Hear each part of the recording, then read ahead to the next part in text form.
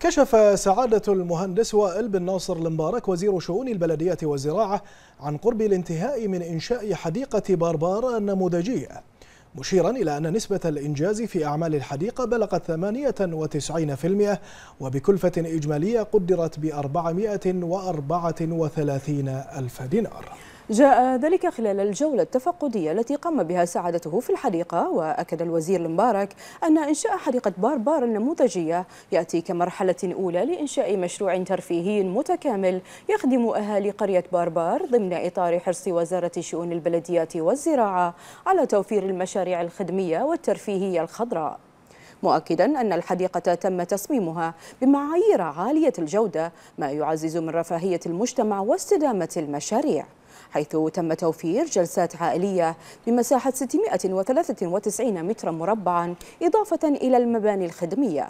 كما أشاد الوزير خلال جولته بتعاون مجلس بلدي المنطقة الشمالية ومتابعاته المستمرة مع الأهالي لترجمة تطلعاتهم في تنفيذ المشاريع الخدمية.